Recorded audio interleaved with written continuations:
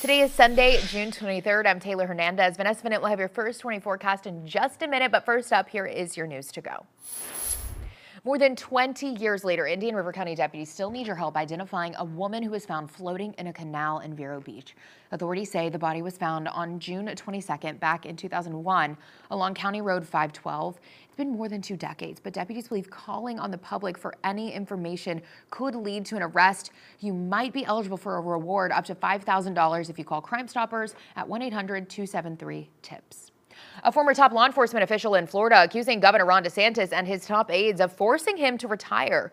According to this lawsuit, Shane Desguin alleges his retirement in November was actually a wrongful termination. He says it was the result of him blowing the whistle on a host of issues, including violation of state public records laws, illegal orders to arrest demonstrators without probable cause, and directives to obtain personal and photos and information of migrants flown to the Sunshine State without legal justification. A spokesman for DeSantis declined to comment. Jack the Bike Man gave away nearly 200 bikes to children in West Palm Beach in honor of the man himself, who is dedicated to serving our community. To give you some background, Samuel Hairston III, or better known as Jack the Bike Man passed away last year, but the nonprofit inspired by his life of two-wheel charity promised to carry on his legacy.